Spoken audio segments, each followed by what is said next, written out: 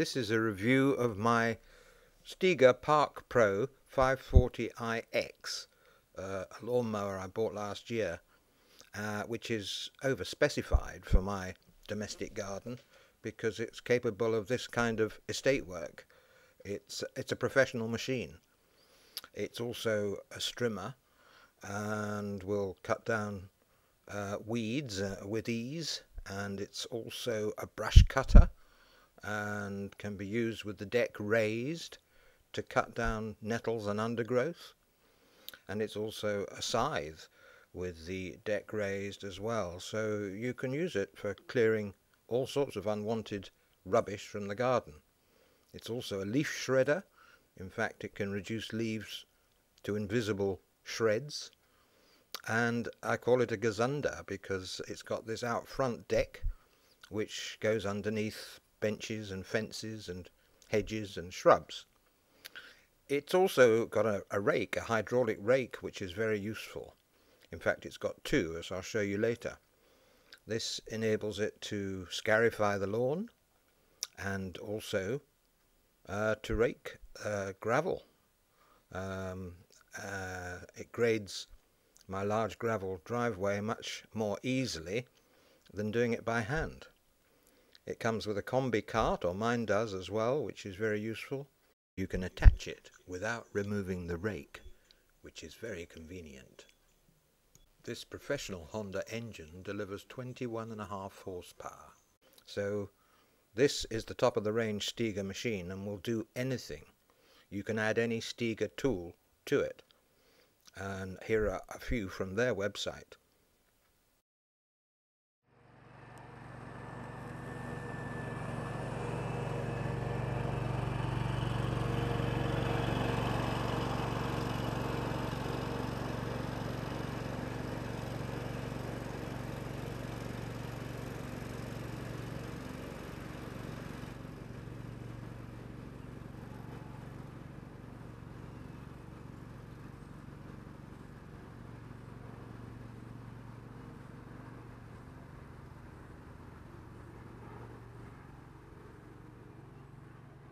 Yes, not much call for a snow thrower here in the south, but you never know.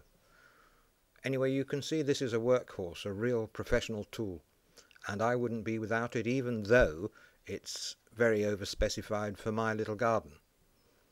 But here we are, I will show you around and you can make your own mind up. I've got my home video followed by Stiga's own video which is much better quality.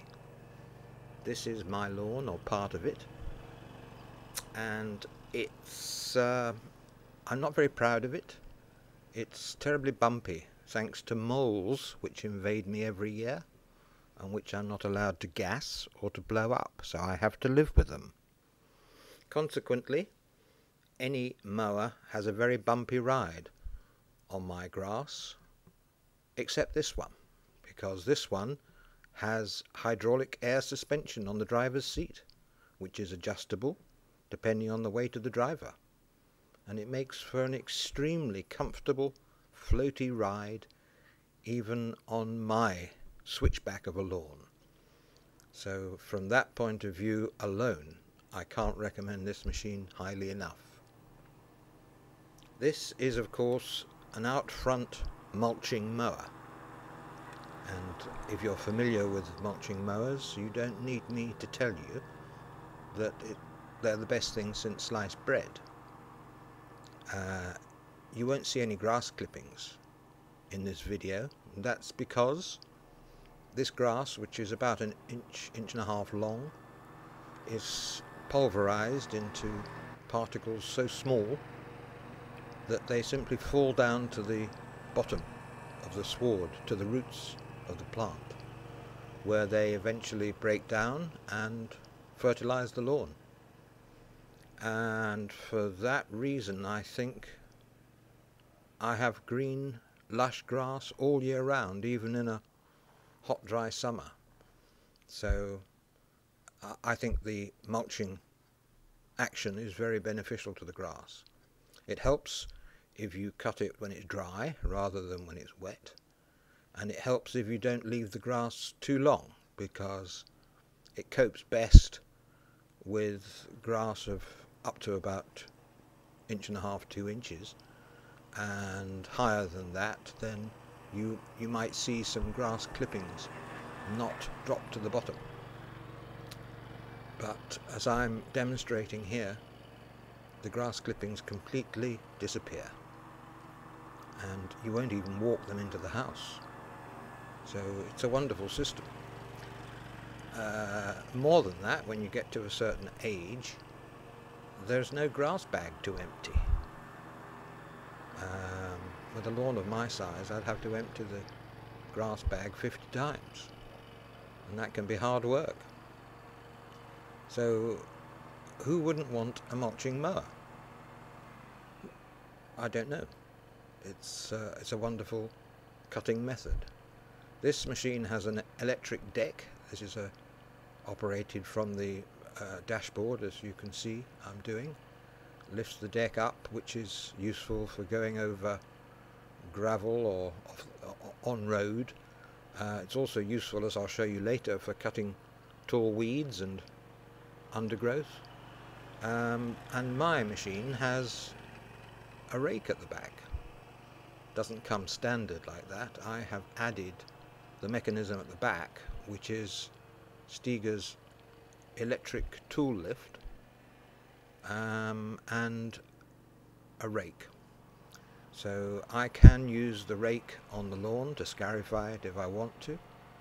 It's also very good for flattening molehills, which is particularly relevant to me and it's got many other applications too as I'll show you shortly. Uh, the rake is also controlled from the dashboard so you don't have to get off the mower or even stop mowing. You can use the rake at the same time as you're mowing and um, the only downside to having it permanently attached to the back of the mower as I have it is that you have to remember it's there um, when you're reversing. Otherwise it doesn't get in the way at all. Uh, you can take it off and uh, I, will show you later how to do that. But I find it so useful and I use it almost every time I use the mower that it's easier to leave it permanently attached. And I can also uh, attach the combi cart as you can see from the tow bar at the back there I can attach a cart to the mower without removing the rake so everything is fits neatly together uh, with a minimum of effort. So I'm showing you around the mower here and it's uh, Stiga's finest top of the range or virtually certainly top of the range uh, Park Pro models. And it's uh, well the best part of 10 grand I suppose but uh, for me it's worth it this is the deck it's 105 centimeters wide and it's electric which means it can be lifted up from the dashboard there's a handy headlight for those who like to mow in the dark and it comes on automatically when it gets dark as well the, the Honda engine is a remarkable thing, as I'll show you later. That switch turns the fuel on and off. Here is the here is the fuel tank, which is transparent, and the filler cap, which is nice and wide, so you can easily pour unleaded fuel straight in. That metal bar running around the back of the mower is basically a carriage rack should you want to throw a bag of compost on there or anything else that you want to cart around without getting out the towing cart. Here's the hood which uh, covers up the mower and the, the engine and the oil and I'll show you later how to get in there and what's underneath.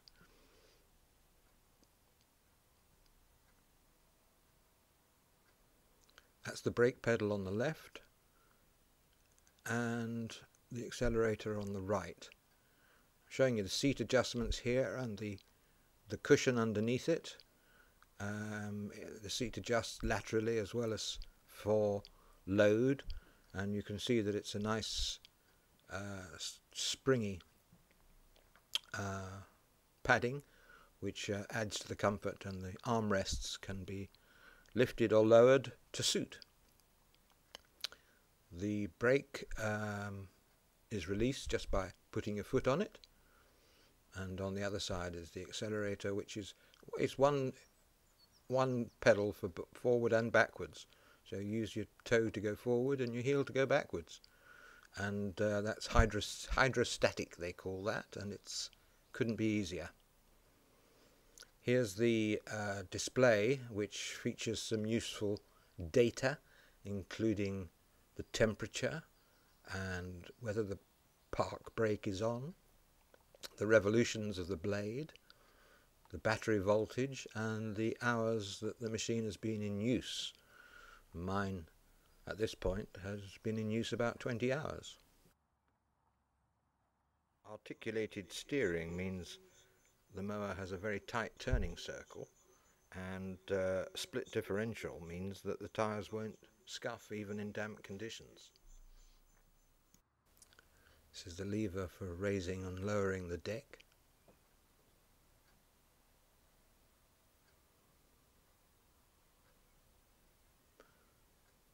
This is the height of cut gauge, um, which is the only way you know what height you've set the deck at.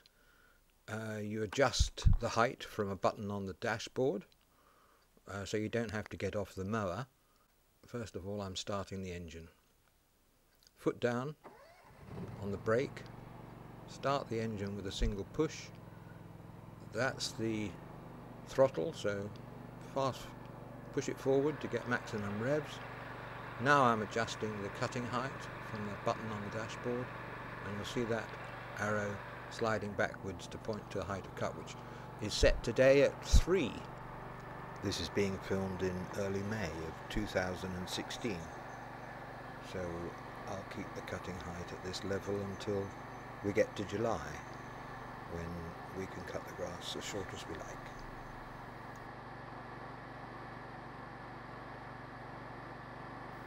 Here you can see me adjusting the rake which is also done from the dashboard and um,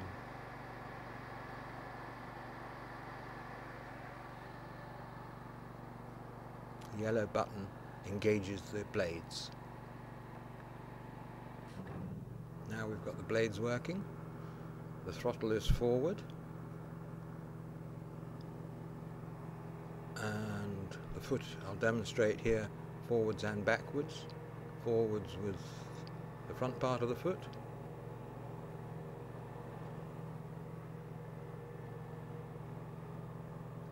And back with the heel.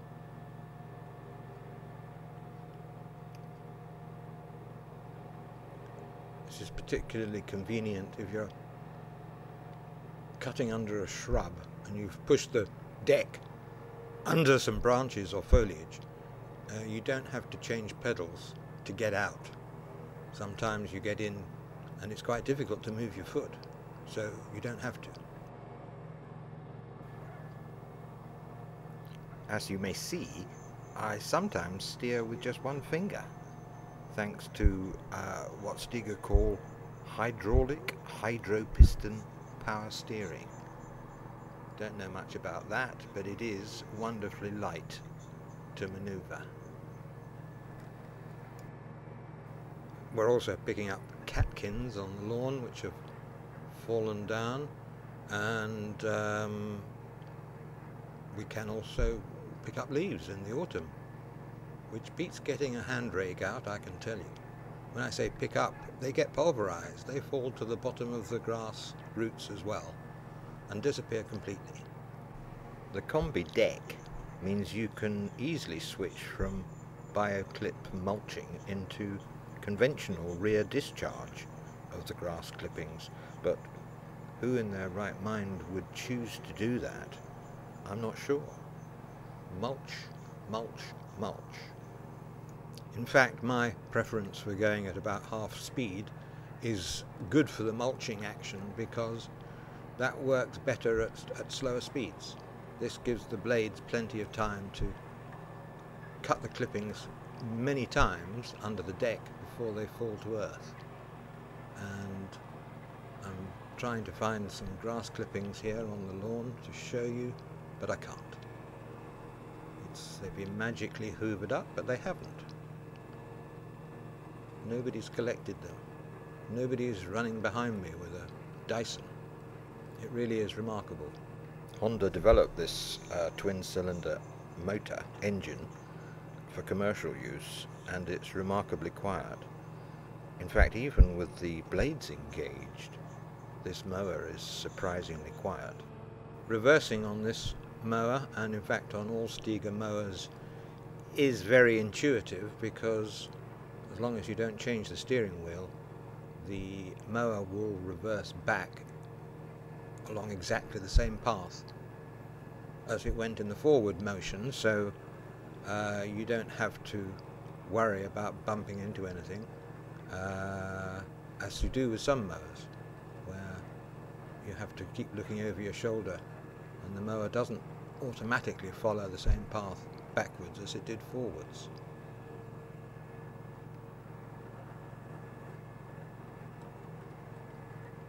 We're going to go diving under this shrub up here to show you how far under we can get.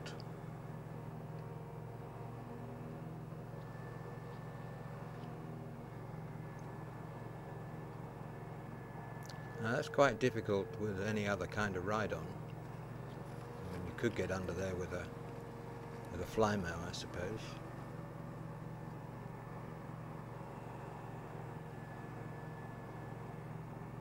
And as you can see, my garden is bordered by conifers, uh, all of which have weeds growing at their base, and uh, this is marvellous for keeping them tidy.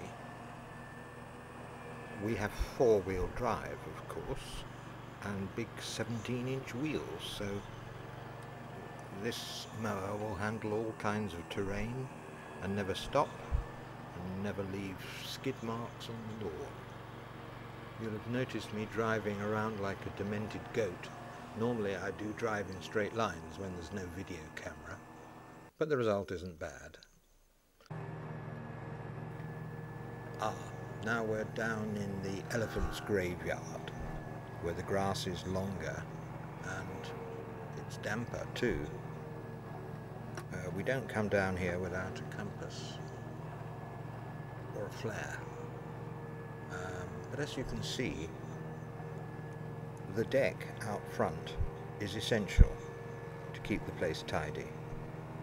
And it also allows us to precision navigate around obstacles like the compost bin here. And I can lift it up with blades running to tackle the nettles get a lot of nettles here, so it really is extremely useful. The twin metal blades rotate at over 3000 RPM, so they're very powerful, and I always make sure that pets and children are far away. Now here's the rake on my gravel driveway, and you can see that it's a godsend the alternative is hours of back-breaking work with a hand rake and uh, this does the job in minutes, even on a large gravel driveway. And yes, it pulls out the weeds too. I in fact have two rakes. One is heavier duty, as I'll show you later, for deep scarifying or for heavier grade of gravel, but this one does fine for most of my uses it will also collect uh, clippings of hedge trimmings, uh, leaves or fallen fruit, twigs, stones from the lawn, flattened molehills, as I said, and many other things as well. It's uh, a valuable ally in the constant battle out there. Now I'm going to get Dan to show you how to attach and remove the rake and the lift on the back of the mower.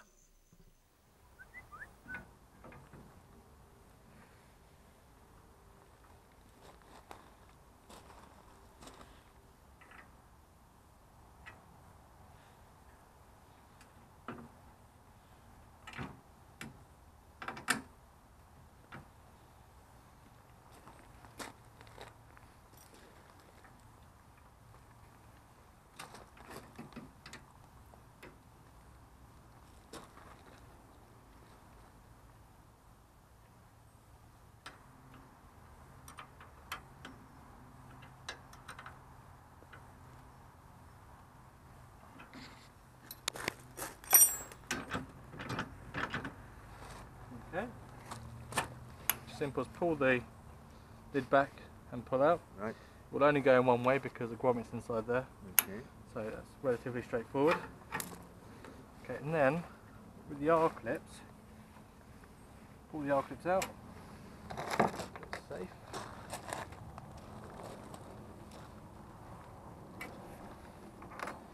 And what you do is grab the back of the rake, just lift it up slightly, just take the weight off the pins. They will drop out. Right. Once they've dropped out, two hands on drop. That seemed quite easy when you do it.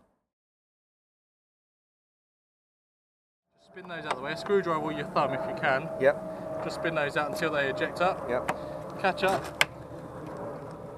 That way. Very good. Okay. And uh, now the switch to turn off the battery. So it's on this side. Okay, so this is your main main power cut off. So that would be off, and you can take the key out. So you can protect it from theft by taking it out. Essentially, if they haven't got that key, they're not going to start it up. Okay. Right. We'll only go in one way as well. So find which way it goes in, and then turn. And a beep to let you know Very power's good. back on. Okay. While you're here, just visual checks. All your oil's down on this side, so you can just visually check, make sure you've got no oil leaks. And again, for your fuel sediment filter there, Yeah. make sure it's all clear and free of debris. You know, I can lift that one finger. It's really light. Okay. So what you want to do is just remove the clips and the washer. Yeah. Let side drop. Same again this side.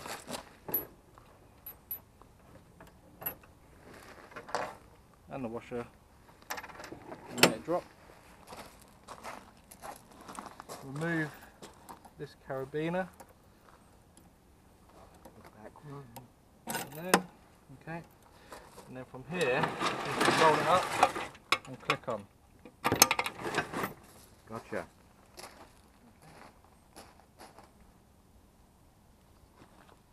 And gives you fairly good, good access to the deck. Very good. Go either side of that. Okay. Pin goes through, and then this can go on. Okay. Easy. That will pull it out of the way. And then you can sit. Well, somebody's still got to get off the machine to do it. Yeah. But yeah.